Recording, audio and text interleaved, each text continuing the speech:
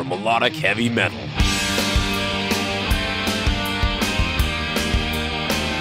Playing it heavier, louder, raunchier, faster. This is the signals of intuition.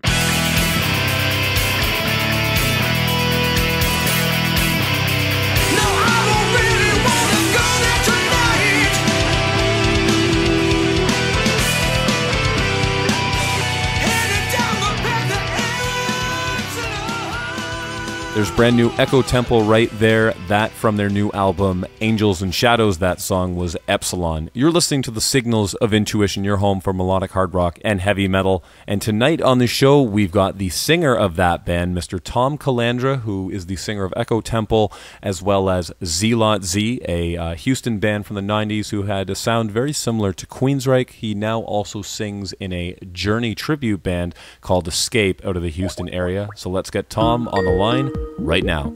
Hey, Brandon. Hey, Tom. How's it going? Man, I'm good. How are you? Doing well. So, uh, when I like to do these, I always like to start at the beginning of you as a musician and then work our way up to uh, the new record that you guys have. So, I guess looking back, where did you grow up and how did you get started in music? Well, actually, uh, I actually grew up not too far from where you are in Buffalo, New York. Most of my family still there to this day. But we actually moved south. You know, my parents actually moved us. I'm going to say uh, late 70s. So I was a uh, I was a young guy, 11, 12 ish. We moved to the south, actually to South Louisiana. So quite a bit of a of a culture shock, you know. Sure. Parents were looking for better job opportunities, so we settled down in Lafayette, Louisiana. I think that's when I started high school, actually, and that's kind of where I really started kind of getting into to rock and roll. I really grew up with idolizing guys like Steve Perry and Lou Gramm and Paul Rodgers and really kind of got into that classic rock of the 80s, so to speak. Somewhere down the line, metal reached out and grabbed me. Um, bands like Queensryche and Maiden and Dio became some of my bigger idols. So I kind of progressed into that love of metal. That's where a lot of my influences came from as far as my original material, I think. And where then do you start singing? Like, do you have other musical training as well? Or, you know, I mean, I know so many singers who you just happen to have a group of friends and everyone's looking around going, all right, who wants to sing? Yeah, I mean, it, it, it was similar to that. You know, um, when you got that passion for music, you know, wherever it is, you start singing in the shower, you're singing in the car along with your favorite songs. It was kind of a, I guess I was kind of a late bloomer. I want to say in my early 20s, I started thinking, man, I could maybe do this. I started doing some self training with uh, cassette tapes and so forth. I think some of my uh, my college roommates back then would kind of still tease me to this day about hearing all these fa la las and scales and stuff that I was singing in my in my room. They're trying to go to bed at night and I'm up practicing type thing. And so yeah, we kind of some buddies, you know, kind of had a band put together. Um, actually, my first band was actually out of Lafayette, Louisiana. It was a band called Lixx, L I X X. Um, How very 80s. yeah. Right? Oh, man, trust me, if you saw some of the pictures back then, it was actually kind of hilarious now looking back. But that's the, the age we lived in, you know. But it was ironic because we dressed. Man, I can remember putting on the spandex and the fishnet stockings and the the glitter headbands, but we were playing Judas Priest and Dio and Metal Church and Iron Maiden. So we totally did not look like we sounded. If that makes any sense, it was kind of funny looking back on that. Oh, it's funny. So when then, when do you move from Lafayette to Houston, or did you move to Houston? I mean, I know you're working with Z-Lot-Z, who are based out of Houston. So how does that sort of next step happen for you? Yeah, that was kind of the next step. So in the late '80s, ironically, I had a, a good friend of mine that moved to the Houston area, wound up getting together with a group called Granite. And he had known of Lixx, reached out to me one day and was like, Hey, I'm in this band Granite. We actually share the same management company with Helstar. You know, I think we got a good thing going. We're going to record a record. you know, we're going to be rock stars, this type of thing, you know. So back in my, you know, mid 20s, you know, I was working, trying to go to college, but that was kind of difficult because of finances. And so I decided to take that leap and say, hey, you know, I think I'm going to move to the big city and and see what comes of this group. I actually was traveling back and forth between Lafayette and Houston, which is about a three and a half, four hour drive. I can remember borrowing my mom's car and going every weekend and auditioning with Granite and eventually got the gig and decided to move to Houston. So I kind of left my immediate family, moved to Houston and pursued this process with Granite. Obviously, down the road, the thing with Granite didn't work out. We disbanded. A couple of band members moved away and heard about these guys in Z-Lot-Z that were looking for a singer. Early 90s went out, auditioned with them, and ironically, they kind of put me on the spot and we we always I always think back to this day where they were like, "Hey man, we're we're working on this new original and wanted to see if maybe you could put some melody or some words to it." So I literally sat down on the floor with a notebook pad as they were going through this tune. And that's where uh, The Road to Nowhere was born, right there on the spot as I was auditioning for Z-Lot-Z. So when they saw how quickly I could put some melody and some lyrics together, um, it was kind of fate, I guess, if you would have it. Sure. And I know that story is in the booklet for the uh, 92 album, too. Yeah for Lixx or Granite, did you guys actually record anything? Is there any recorded stuff from those bands or no? Not really. I mean, as far as Lixx goes, it was so, you know, preliminary. We did some, you know, basement uh, demo or something, eh? Yeah, I kind of put a blank cassette in a boom box and record practice type thing, record some of the live shows. But Granite, we actually did record and had a cassette because back then, you know, I'm showing my age, but we didn't really have digital recordings. So we had an analog recording on a cassette. It never really went anywhere, never really got released in any form or fashion. We just kind of have it kind of in our catalog of tunes. Fun to kind of break out the old cassette player and listen to it every once in a while. But um, never really nothing that was that was released officially, not till the Z-Lot-Z days. Sure.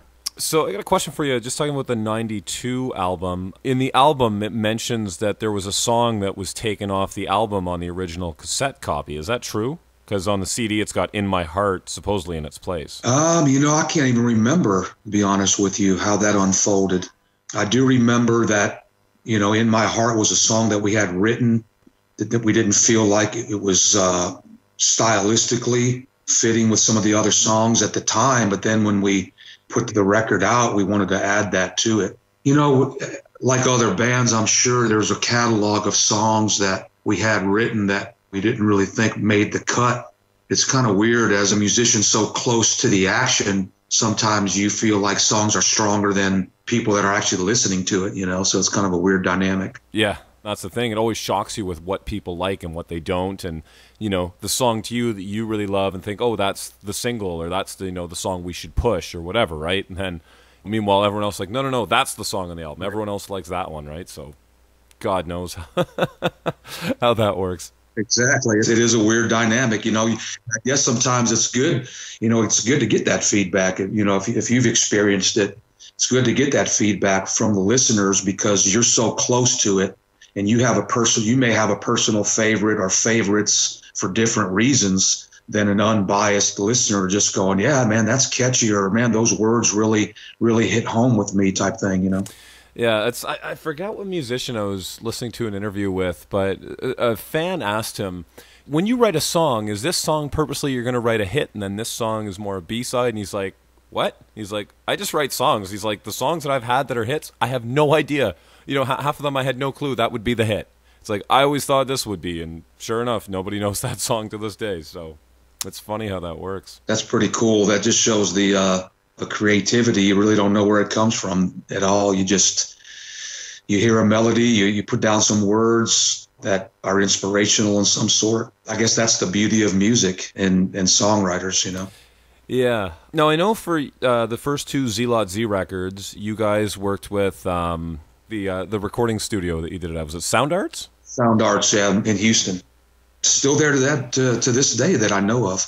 Now, was it 92 that you guys did a bunch of just marathon sessions to get that EP done? And and tearing at your mind. This, you know, back then the only way we could afford any type of professional recording was to buy blocks of time. So you know, we would buy these 12 hour blocks where, okay, today, dude, you're going in and you're doing your sessions, you're laying down your tracks. When you get close to being done, give me a call so that I can get ready and come down there to do mine. So, yeah, it was kind of these marathon, you know, at least 12 hour sessions. I mean, I could remember ironically looking back now i could remember the engineer kind of like dozing off on the board and we'd have to like dude pat him on the back dude let's go take a coffee break you know and we'd run down to the corner store and grab a candy bar and some coffee so that we could get you know get through the session so yeah it was i guess you could say it was a marathon I can remember getting a phone call at three o'clock in the morning. Okay, dude, it's time for you to lay down your tracks. And I'm like, really, dude? It's three o'clock in the morning. Come on, dude. Time's wasting, you know? Get up, grab a quick shower, jump in the car, and drive down there and knock them out. You know. That's crazy. So when you cut vocals, you cut them like for the entire record in one session for those two albums.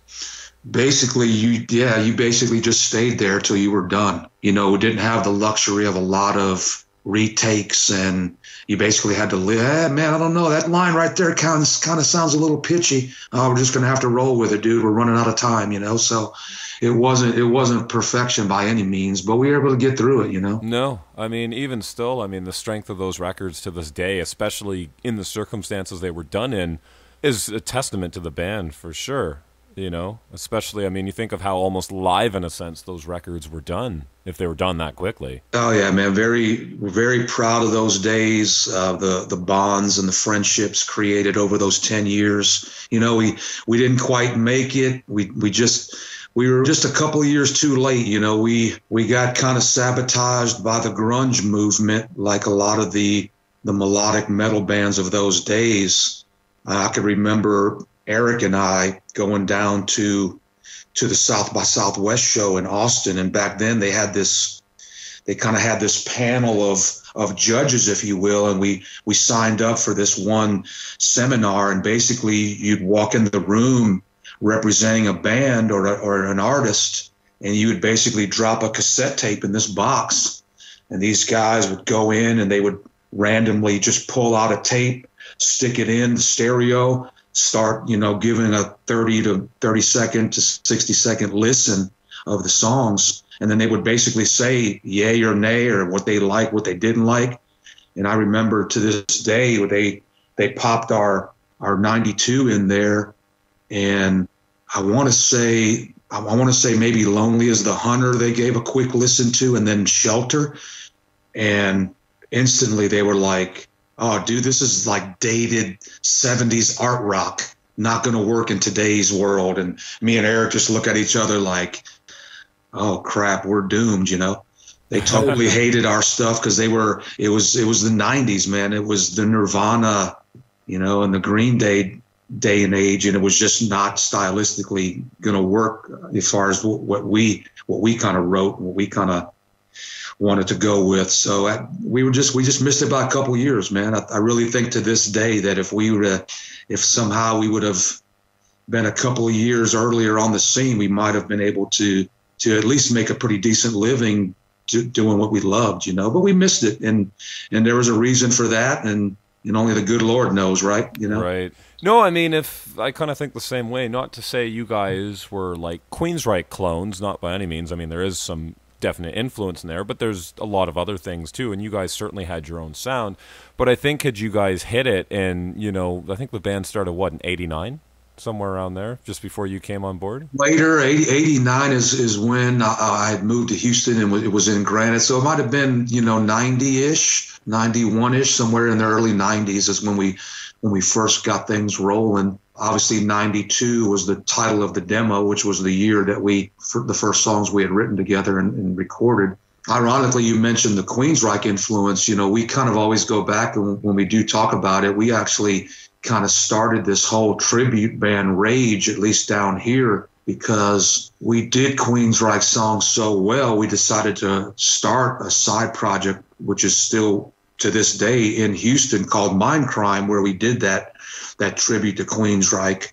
And we kind of attribute some of our local regional success to that tribute band Mindcrime because we would break out and do these Queensryche songs. And then in the middle of a live show, we'd say, Hey, you know, we're actually an original band from Houston called Z-Lot-Z. We'd like to play one of our songs for you. And we'd play a Z-Lot-Z song. And then, you know, at the end of the night, we would just sell out of CDs and merch, t shirts. All these people were like, wow, man, you know, this is cool. So I think we were able to really increase our following to, to Z-Lot-Z by doing, you know, the Mindcrime thing. So we owe a lot of success to that. Well, it's funny. I saw Mindcrime play at Prog ProgPower about 10 years ago, and they actually did all of Operation Mindcrime, but I think there was Chris Salinas who was in the band, if I remember right. Yeah, absolutely. He does a he does a stellar job. He took over for me when I stepped down. Obviously, when I stepped down from Z-Lot-Z, I also stepped down from Mindcrime at the same time, and they wanted to continue Mindcrime on, and they they recruited Chris out of San Antonio, and uh, he's done a stellar job in my place, and I'm I'm proud of what they've accomplished. Um, just stepping back in time for a moment, you know, when it comes to a lot of the Z-Lot-Z stuff, I know one topic you seem to write about a lot is the topic of kids. You know, in Shelter, you talk about, I think it's child abuse or something along those lines. Loaded Gun is kind of more of like a school shooting. Right. It's kind of ironic because in 1995, that wasn't, you know, you think of how huge a topic that is nowadays. Right. Is that something that you just kind of you know were fascinated by, or? Yeah, I think I think it goes back to you know most people that know me and and uh, are close to me know that back then all I ever wanted to be was a dad. You know, I always wanted to be a dad, and just hearing the things in the news even back then were just so troubling and, and you, i mean it's, it's it's almost daily now you know you you hear about the, the tragedies that happen and it's so unfortunate because some of these young people they never had the ability to to experience things in life that we have. So those inspirations were were real and from a place of uh, unbelief and tragedy you know and oh yeah they're huge topics now. And i think they were back then but you know nowadays with social media and the you know the way that our local news and, and national news kind of sensationalize everything. It's, you know, we have a computer on our hip all day long and we get access to some of the horrors of life. And so tragedies like that just really hit me where it hurts, you know, and it's kind of what I've written about as a, as a songwriter all these years. Sure. Now, for the next album, uh, Soul Existence, obviously, is a bit of a jump, I guess, in terms of everything the production. Stylistically, I think you guys forged forward a little bit further even on that album. Uh, and you worked in a totally different studio this time with a new engineer with uh, Matt Weaver. How, tell me about this whole recording experience and writing and everything else during that period of the band. Well, at that time, quite ironically, back, you know, I mentioned earlier that the early stages of Z-Lot-Z, we kind of feel like we kind of missed the boat by a couple of years because the the grunge scene kind of was taken over. And ironically, we I think we started kind of getting a little influenced by some of that music that was coming out at that time. Um, I know back then and, and still today, I was a huge fan of King's X, uh, band Alice in Chains. So you can sense on Soul Existence how some of the music was a little bit uh, tuned down, a little more crunchier guitar sound, much like the King's X's and the Alice in Chains and the Soundgardens were. Um, and Matt was a musician at the time and he was really all into that style of metal at the time. And so he had a studio and we, we decided to give him a shot because of that. I hate to say new direction, but somewhat of a different sound uh, stylistically um, that we were kind of going for at that time. Yeah. Now, was this one was this another marathon session album, or did you guys get to take your time with that album? I think we got a little bit. I think we got you know, as I, as I recall, we got a little bit more time to to get things a little better, track wise, mixing wise. Obviously, at that time, our guitar player Greg Gill had really blossomed into. Uh, he was really kind of blossoming as his own producer. I could remember doing some mix down sessions with Greg kind of taking control of some of the producing at the time. So that was kind of some of the individual musicians could kind of take the reins a little bit and kind of produce our own stuff. I could remember, you know, a funny story about the, the song I Want Out was a song that was another song inspired by some of the horrors in life. It was the Jeffrey Dahmer situation. And I could remember Greg and I sitting there and we were trying to come up with some cool vocal effects uh, for I Want Out. And we were specifically working on on a delay, on an echo on the I Want Out, out, out. And we were trying to find the perfect delay time in milliseconds. And so we were we were working with this delay that Matt had, and we were hitting the button trying to find this random millisecond. And we we hit the random button, and it would come in, and we were like, "Wow, I think that's it." And we Greg and I looked over at the display, and the the digital display read 666 milliseconds. and that dude, that totally freaked us out. Like we we we were like, dude, it's time to go home. You know, we're haunted or whatever. You know, so Jeffrey Dahmer's haunting us. So that was kind of a thing that I'll always remember till the day I die. You know, that whole six six six with with Jeffrey Dahmer really really was a freaky thing, man. That's funny. You know, it's kind of neat. I was looking through the booklet for that album and I stumbled upon the special thanks for that. And it just blew my mind because all these bands that, like, I'm from Canada, but somehow stumbled upon you guys and all these other bands from the area. And I'm looking through and it's like, you know, it mentions Strangers and Aska, Stride, Mystic Cross. You know, it's just all these, you know, mm-hmm. and then, of course, um, obviously King's X, as you mentioned, are from Houston as well. How was the scene around that kind of time? It seemed like melodic metal was doing pretty decently in Houston back then. Oh man, it was the time of your life, man. Where you know, we still sometimes talk about it today, you know, with the Echo Temple guys, because back then, you know, mid '90s, the clubs were packed no matter who was playing, you know, and the guys that we mentioned became real close friends of ours. The guys in Stride, the guys in Mystic Cross you know, Aska was a band that we befriended out of the Dallas area because we were doing a lot of shows in Dallas at the time. So meeting and, and hanging out with George and those guys in Aska, but you know, yeah, those were those were our closest buddies. You know, the Mystic Cross guys, the Stride guys.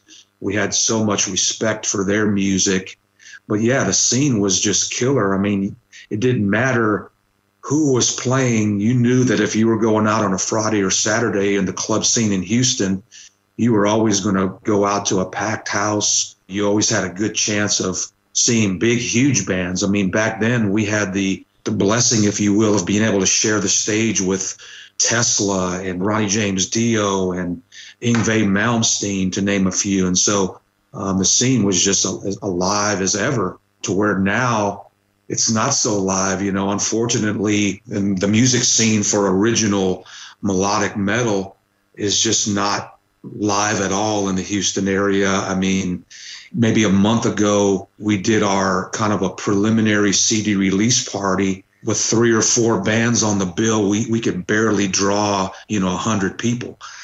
And it's just the way of the world, you know, the, we kind of, and I, I hate to blame it on anything because it is what it is, but it's really the the tribute band is the big rage nowadays in the music scene, and I'm in one, so I know. It's funny because I was, I was going to ask you about that. Yeah, tell me, tell me about uh, you know you sing with the Journey tribute band Escape. Tell me how did you join that and that kind of thing. Well, again, you know, you just mentioned Mystic Cross and you mentioned Stride.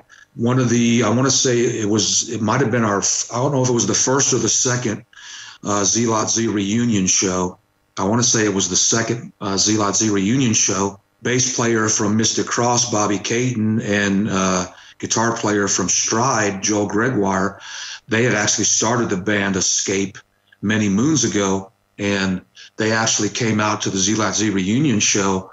And after that show, they approached me and they said, "Hey, man, um, we're putting together uh, Escape again."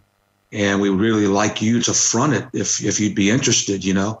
And I had so much respect for Stride singer Gary Beelan at the time, and he was actually fronting Escape at the time. But they had. Well, it's, they it's had, funny because he sounds so much like Steve Perry. Oh, like, I mean, I, I, have the the Stride album, and I mean, I put that on. It's the first thing I'm like, oh my god, this is like heavier journey or something, you know? Oh yeah, absolutely. And and uh, so they had disbanded for a while, and you know Gary had went his way, Joel and Bobby went theirs, and they had you know invited me to to front Escape. And so I told them I would talk to my wife about it and think about it a little bit. It didn't take me long, you know, to think about it because I I actually contacted them the next day and actually signed up for it. But it's kind of weird how that circle of music takes you back because that's kind of where my roots were. You know, I've I was always a big, huge fan of Journey. Ironically, my wife is probably the biggest Journey fan I've ever met. so she was obviously on board with that whole thing. But um, what's so cool about being in a Journey tribute band is that Journey's music transcends generations, right? So you have people that have a primary love of country or pop or rap or metal, and everybody knows and loves Journey. So we're able to play so many different types of venues, you know, weddings, corporate events. We do a lot of um, municipality events like festival type things, uh, July 4th celebrations. And so we're so busy doing shows like that, and it's so cool to reach out to a different genre. And they're actually kind of surprised when I tell them, yeah, you know, I'm, I'm in an original metal band too, you know, no kidding. And so it, it opens up other doors. But yeah, it's a fun time. And I'm blessed to be able to play with awesome musicians that ironically were in the same scene that I was in back in the mid late 90s, you know, and with the Stride and Mystic Cross guys. Yep, no, that it's funny because a lot of that whole scene, you know, the '70s, '80s, '90s metal scene has kind of moved into that because, like you say, that's where the money is today, for better or for worse, you know. Absolutely, and it's it's a shame in a way. In one sense, it's a shame because, like I said, this the Houston population just doesn't support local music, and I would imagine that that holds true countrywide. I don't know how is it. That's it's the same down here. Well, and here here's the thing, and this is how I always put it: is back then you didn't have there were only so many things to do on a Friday night. I mean, now it's limitless. I mean, you have an internet connection, the people you can talk to, the things you know, video games, and just there's music is just limitless now with what you can get a hold of. It's like back then, if you wanted to hear bands that weren't on the radio, I mean, you had to go to the clubs to see something new, right? And now it's people just there's so many other avenues for things to do that you've got to convince them that why would I want to leave my internet connection to go watch some band? I'll just I'll just stream it on Spotify while I do this thing, like you know. So it's sad, and I think you know a lot of the people who still do come out are the ones that still have a passion for it. But I don't think it's quite as culturally ingrained anymore in people to go out on a Friday night to meet people and whatever else, you know. Well, I think, and I think a lot of it too is just the, the natural progression of life, right? So people that grew up listening to melodic metal, whether it was hair metal, whether it was, was you know Dio, Maiden, Priest, those types of bands. These folks are in their 50s now, late 40s, you know, 50s, even even late 50s, early 60s. Let's face it, when you have a full-time career and you have a family to support, you're not typically looking to go out on a Friday night and stay out till one or two in the morning to see bands. You grew up on Def Leppard and you grew up on Maiden. So you want to get your fix, you just open up your phone and, like you said, turn on Spotify or turn on YouTube, and there you are. You don't have to go out and stay up late, and it's it's just kind of that that natural progress natural progression of life where, you know, the kids of today, twenties that are in that party lifestyle, they're typically going out and checking out rap bands and hip hop and stuff like that, even country. There's a big scene in Houston for, for country music. So a lot of the a lot of the young party goers are supporting original country artists. But as far as the the melodic rock, it just our age group just doesn't go out that much anymore. Yeah, well, I was interviewing another singer, and he said, you know, he said nowadays this style of music, it's being held, it's basically being propped up by a cult. it's like there, there's a cult of fans that keep this going, but it's like there's not the you know a lot of the outside support that there used to be because it's just not the current popular music as it was in the 80s or you know even early 90s, right? So it's a generational thing, but yeah. So you mentioned this already, but I know around you know 2002 or so, you ended up leaving Z-Lot-Z, and I know at the time the band was at least demoing new material. I've I've actually got a demo of a song called "Dreams and Rainbows" from back in the day. Right. Do you know what was going on in the band about that time, and what sort of led to you leaving? Well, basically, um, you know, I mentioned earlier that one of my biggest goals in life was to be a dad. So, thank God around 2002, my wife was pregnant with my first child. And I was at that time, mid late 30s, decided, you know, I gave music my best shot. I don't think it's going to be something that I'm going to be able to make a career out of. And so I think it's time for me to to step down, focus on on a career, and uh, focus on raising my son and so that was the decision behind stepping down. And it wasn't just, you know, hey, I'm tired of Z-Lot-Z. I'm tired of doing this Mindcrime thing. You know, I was retiring from the music business. I was stepping away and focusing on being a dad and a, and a good husband. So I stepped down, and I, I know at that point in time they were going to try to continue on, and they had uh, some other singers had come in. Eventually, um, they just, you know, nothing really hit home. So eventually they had, you know, disbanded Z-Lot-Z at that time. I don't remember exactly the date or time, but I want to say it was maybe 2003, 2004. They had uh, decided to just basically fold up Z-Lot-Z and move on. Yeah. Well, it's funny because I, I remember that, you know, reading about the band you know, just just kind of everyone gets older and you just move on, and such is life. You know, it happened to my own band, so I mean that's that's how it goes. But then I know a couple years later, I think it was about 2006 to I don't know, it would have been probably around there on MySpace. I know a couple demos came up of "Lady of the Light" and I think it was another song, "Snapshots," if I remember right. Yeah, yeah, that's that's that's funny. I didn't even realize that was on there. yeah, there, there, it was just like a couple like maybe one minute clips. Um, but uh, yeah, so I, did did you like that was because Greg by this point had you know Diamond Recording he was doing with Bobby Blotzer, right? And I think so. Was it just him continuing to write music and that kind of thing, and called you up and said, "Hey, you want to sing on a few demos I've got?" Yeah, it was actually it was actually uh, Greg and um, Rick Ward on drums, who who was uh, one of Greg's best friends and and uh, had played in Midnight Circus with Greg, and then uh, Joe Morgan on bass, who actually had done some stuff with Z-Lot-Z and Mindcrime, and we just decided to, you know, Greg was like, "Hey, we got these songs kind of written. Let's see what we can do with them." So uh, at that time, Greg had a home studio, and it was before the Bobby Blotzer marriage, if you will. And so I remember we had laid down a couple of songs and ironically, they weren't even complete songs. They, you know, to this day, they were never all the way finished.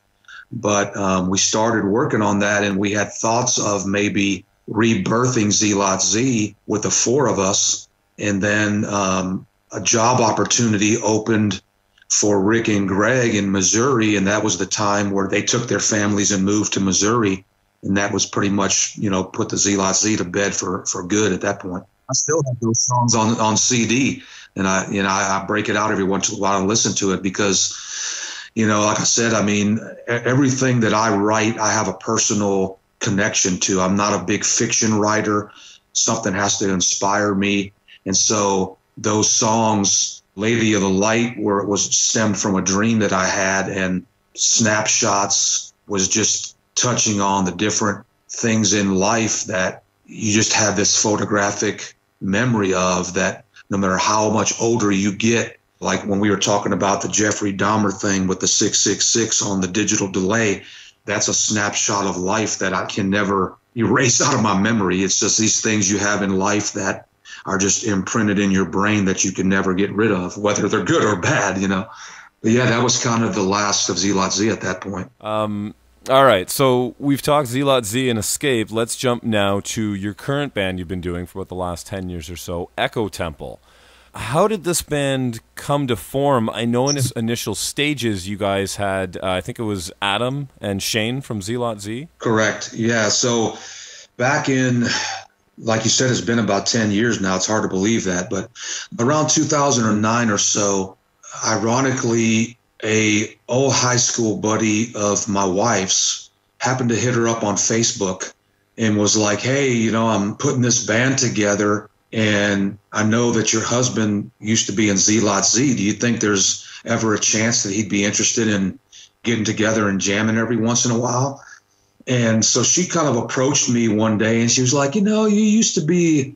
A lot happier when you when you when you had music in your life. Are you missing it at all? And you think this might be something of interest? You know, my high school buddy John is kind of putting together a band, kind of a weekend warrior, get together, jam a few covers type thing. And uh, I was like, I don't know. You know, it's been so long. I don't know if if I'd still have the chops and all of this stuff. So I decided to go ahead and, and give it a look. So we kind of got together for a couple of jam sessions. He had uh, put out some ads on a local musician eBay type website and sort of a of a musician ad type thing where you can go and recruit people, you know, band sell band equipment. Anyway, he had a bass player friend at the time.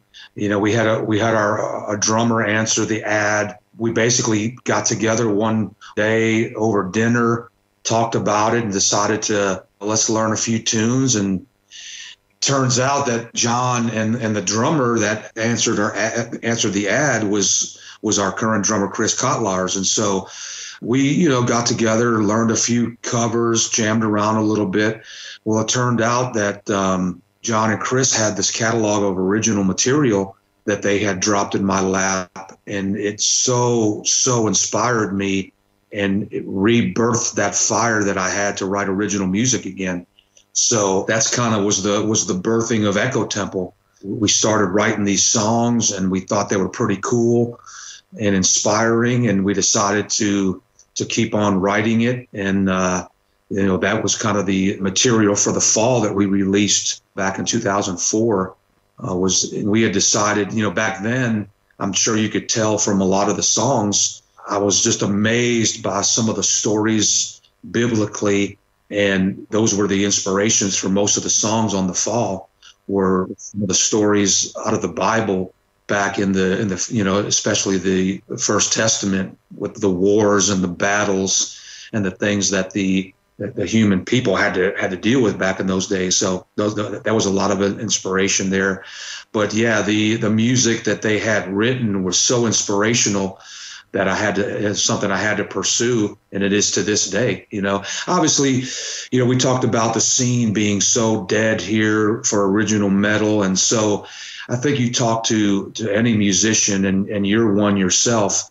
I think everybody. I, I think I could vouch for most musicians. You know, you write music for yourself. It's a part of you, especially as a singer you know, I never had the the ability to, to to play an instrument, so I just played the microphone. So being able to write lyrics was something, you know, every song that I've ever written or recorded, there's some sort of part of me in those songs. Now whether whether I write them in first person, third person, whether I'm writing them about an event, there it, it touched me in some way. So uh, those songs will, you know, every song I've ever written, whether it be Granite, Z Lot Z, in, in Echo Temple to this day, there's some sort of a tie to something that inspired me somehow. Yeah, obviously in the past you guys have worked with like outside engineers, you know, with Z Lot Z, and now you've got Chris, who's you know an engineer in his own right and has, has uh, engineered the two albums.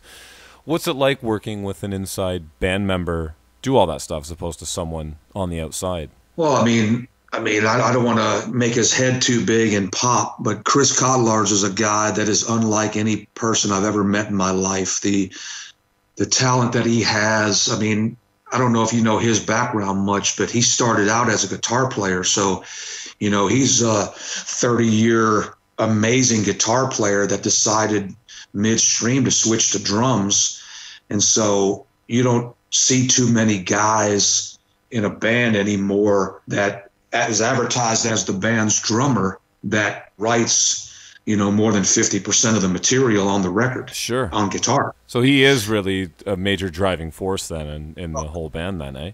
I mean, he's he's the sole reason that I'm still doing this in Echo Temple because his the music he writes and his creativity and to be able to do that on guitar and play the stellar drums that he plays and he does is able to have the ability to record us and produce us and mix and master us. And the vision that he has and the ability that he has is just mind blowing. Yeah, it does wind up sort of being his baby in a sense, even though you all are a part of it too, right? So, well, yeah, I mean, his baby in essence because of his abilities, but he's very open to other influences. And, you know, he's not the kind of guy that writes a song and it's like, hey, it's going to be like this.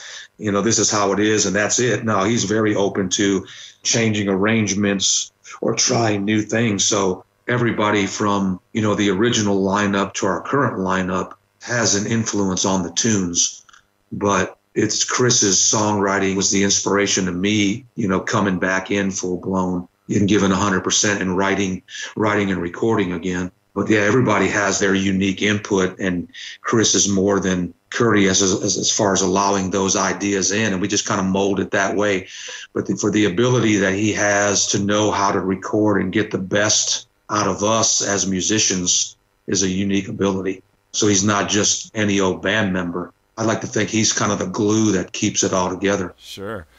So in 20 was it 2014 you guys did the fall. Right. Um, and then you guys just released uh, Angels and Shadows in April of this year.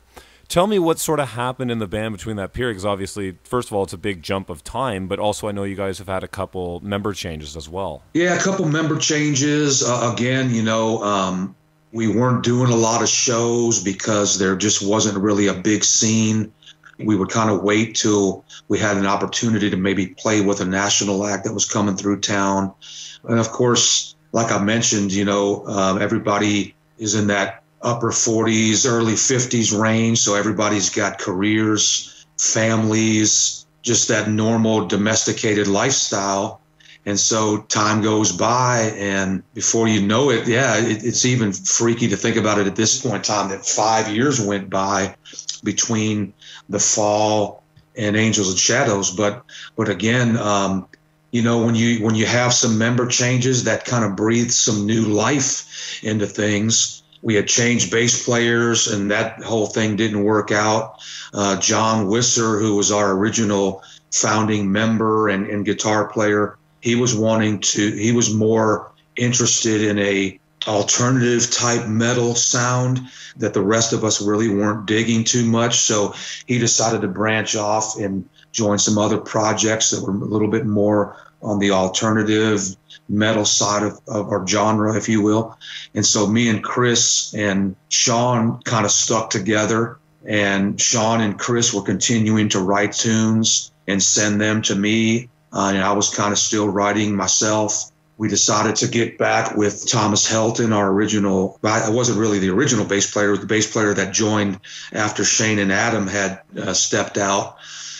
And then uh, we just not too long ago recently added Dale Rasco on guitar, and Dale is coming into Echo Temple as a very accomplished writer, recording guy himself. So he was able to bring some tunes into Echo Temple that that he had written, and his style and our style meshed perfectly.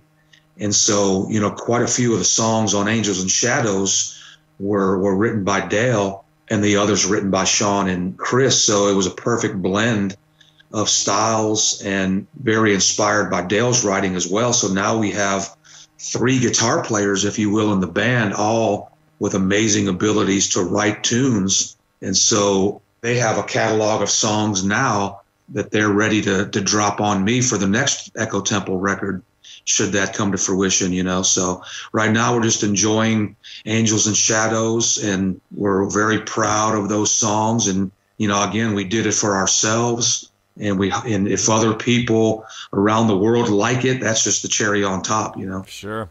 Well, it's it's funny you mentioned having, you know, this new songwriter in the band because I mean, you know, obviously the album has some different songs and it's not just a repeat of the fall like no band ever completely does. But no, I mean, you listen to that whole album, you'd never know it was different people doing the songs. Like you say, it meshes so well from song to song and it's a style across the whole record, you know? Yeah, I mean, I think, um, unfortunately, I, I'm not all the way up on the newer, you know, metal that's coming out. I still love stuff like Symphony X and, and, uh, you know, bands like that. I love Russell Allen. I love uh, Jorn Lande.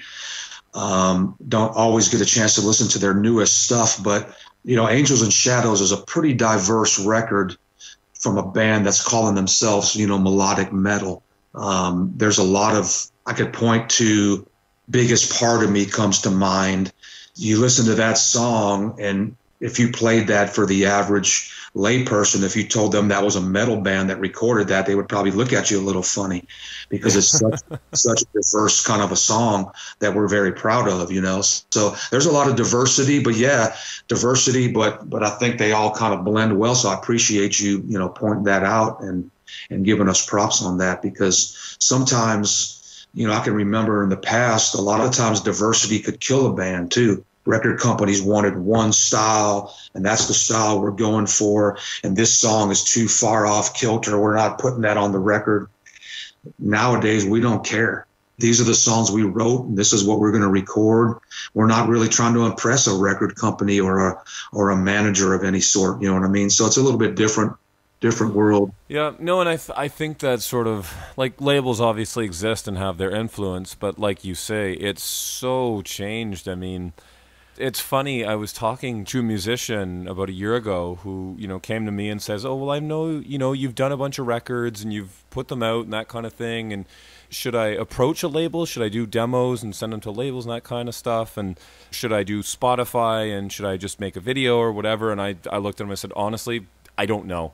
I said, it has changed so much, even in 15 years since I've been doing this, you know, and it just boggles the mind how much everything has changed. Yeah. I think the smartphone and access to broadband internet has just, it's changed everything. I mean, like so much from in the, in the last 20 years, it's just crazy. And it's like, as a musician, how do you approach that? Where do you look for gigs? And it's like, it's, it, I think it's beyond looking at the label thing unless you get really, really, really lucky nowadays you know yeah i mean and i don't know you know obviously with my background in bands in classic bands the journeys the foreigners the Styx of the world and then you move into the the metal era you know obviously you still have the big metal bands that can still sell out arenas but um, do you have new metal bands in, in our genre that are quote unquote making it big?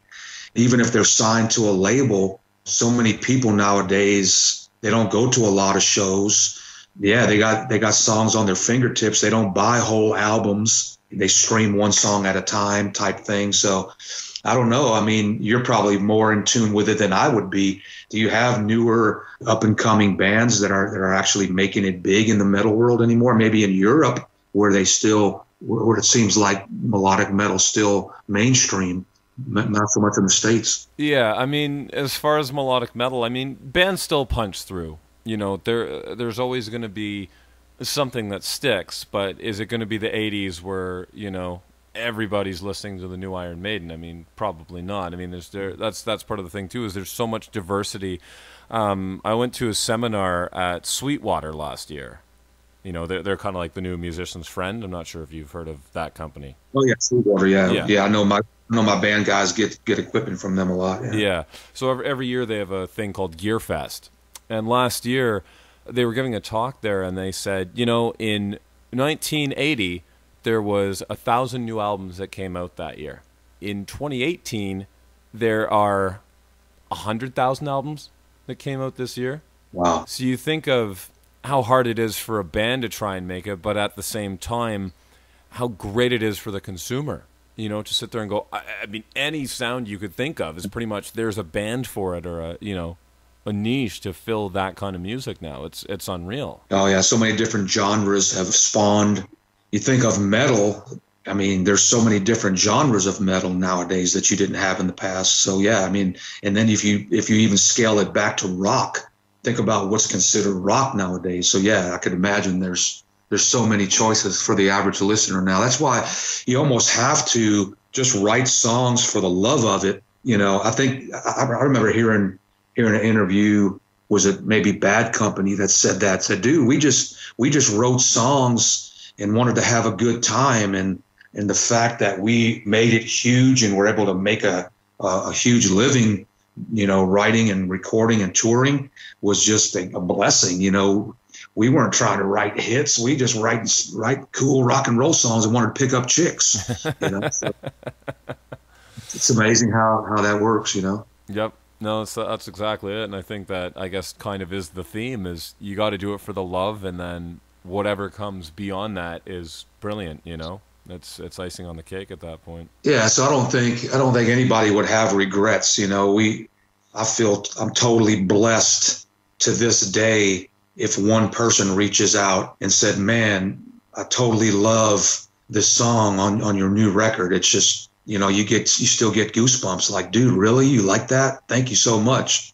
Totally humbled by the the little following that we have and people hitting us up, you know, and saying, you know, for instance, you personally, man, you know, I want to thank you personally for reaching out to us and and you know what you're doing an, a radio interview really with me you know so i'm so appreciative of, of the fact that people you know can can hear a piece of my life on a song or in a song and and actually touch them in some sort of way. You know, I, I, even even with my Journey cover band, I feel the same way when people come up to me after the show and go, "Dude, you you brought me back to high school by singing these songs and singing them so well. Thank you so much." I'm like, "Dude, I'm just I'm singing a Journey song. That's not even my original song, and they don't care. You touch their life in some sort of way." And that's that's a blessing, and maybe that's what I was put on earth for, you know. So it's it's a pretty cool feeling, man. And you, I mean, you know, you've been there. Yep. No, it's funny. I mean, on that note, I mean, for me, Z-Lot-Z was one of those bands. I mean, I stumbled on you guys through um, Nightmare Records back probably about 2000. Mm-hmm. Lance King, thank you so much, Lance. Yeah. and uh, I mean, that was my introduction to uh, like Queensryche and all these other bands because I, you know, at the time, you know, like you say, grunge and all that had kind of taken over, and you'd hear smatterings of Ratt or Metallica or whatever, but what wasn't wasn't certainly like it is now. It, it had really died by that point, you know, especially popularly. So I stumbled upon Nightmare Records, and you guys were the first thing that was there. That was Z-Lot-Z. You were like the top of the page or whatever. So I go, that's an interesting sounding band, and they had a little sample of the Shadow, and I go, okay, I like this. This is cool. So I went, you know what? I'm going to take a chance on this record because I was all I had was one, th- you know, a 30 second sample of the tune, and I went, I'll buy that for 10 bucks. Ordered it and went, holy crap, this is great. So from there, it grew into me checking out the band and saw, oh, you guys play as a Queensryche tribute band, and all I knew was Silent Lucidity, and I'm like, oh, that's Queensryche, yeah, not for me. But I'm like, well, wait, these guys play as a tribute band, interesting. So that led me to jump more into Queensryche, and so from there, it just grew. Oh, man. we get some of those royalties now. so it's funny how that kind of thing grows and where inspiration comes from. You know what I mean? Because, like you say, oh, I can't believe you want to interview me. Well, it's like at the same time, well, I look at how much has come from just discovering, you know, one thing leads to another, leads to another, leads to another. And, you know, I mean, I look at how, I mean, wanting to do interviews and this kind of thing grows from that you know grows from wanting to hear all these stories and where do these bands come from and how do you you know how do you meet up with members mm-hmm. all the rest of it right so oh i think that's in every one of us i mean i love watching watching these uh these you know archives of different bands. I remember it wasn't too long ago um i sat here and watched the documentary on Lynyrd Skynyrd and you know i don't consider myself a huge Lynyrd Skynyrd fan by any means but just to to see their story and and the tragedy they faced and the interaction between the different members and, and how they looked back on their days in the band and and all of that. Just there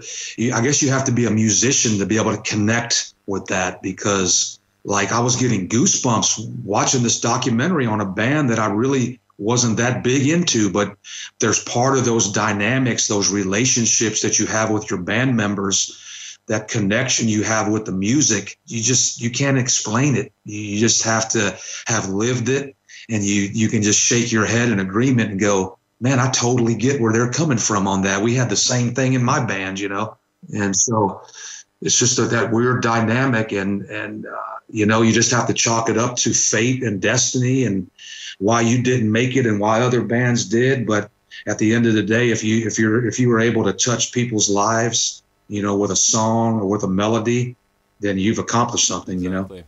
So you alluded this already, but you know you've got the new record, and you guys are obviously working on some new stuff. So do you think it likely the new record will happen? Is that kind of what you guys want to do next? Is push for a third album? That's the plan right now, as it sits. I mean, I know um, they have a catalog of songs already written.